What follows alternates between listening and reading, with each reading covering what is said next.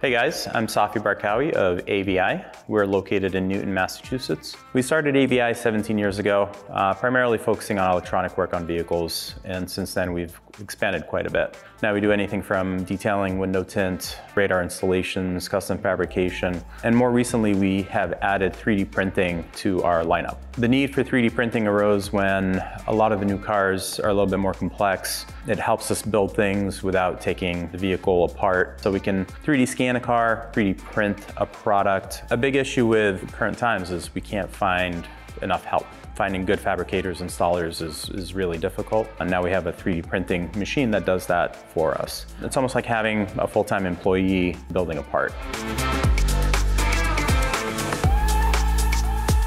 We can design everything specifically made so we can just press print and we have the entire file uh, on our computer and we can recreate that exact door panel again as many times as needed. The cool thing is we have a scan of the door, we have a scan of the dash, we have a scan of the center console. We can design build it even if the car's not here. We get five orders, we could just press print five times, go away for the weekend, come back, all five prints are ready for us Monday morning. So it's a really good extension of being efficient, productive, and you can recreate it as many times as you want. We also have the ability of mass producing products. We do a lot of magnetic plate kits. Those can be made for each specific vehicle. And once we design it, we can print it as many times as we'd like without having to recreate the, uh, the product itself. Every part on the inside is 3D printed. Dashboard, the doors, the center console, cup holders, essentially the whole entire car is 3D printed, designed, and then installed in the vehicle.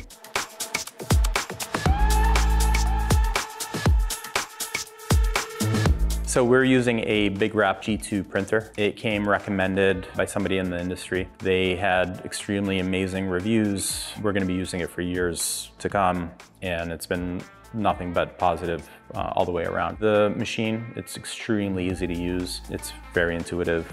Once something's on there, you just press print as many times as you want, and it'll just keep printing it. So if there's like three things that we do all the time, we can have three presets on there. You just press print whenever you're ready for it. It's a very well thought out product. It's also backed up by a very good follow-up team service-wise. And, you know, Lindsay's been great. She's been, you know, whatever you need, you know, anything we can help and also sales as well. You know, really happy with them.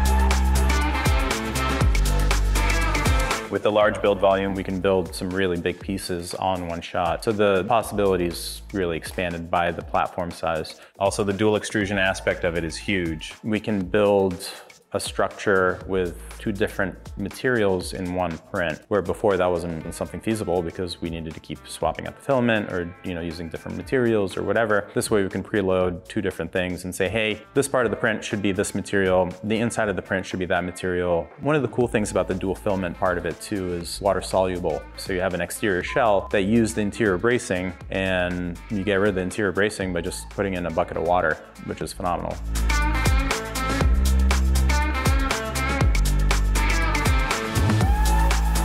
So one of the coolest things that the 3D printers allowed us to be super efficient with the space that we had, um, but for us to have the ability of designing it in-house and then building such a clean structure uh, with such intricate pieces is huge. You know, I mean, at that point, like we can build you anything you want. We would never be able to do that by hand. You know, by hand, you know, getting down to that small of a detail is really hard. This machine spit it out, you know, like it was nothing. This really takes the pressure off of us where before that would take, you know, days or weeks to get manufactured outside.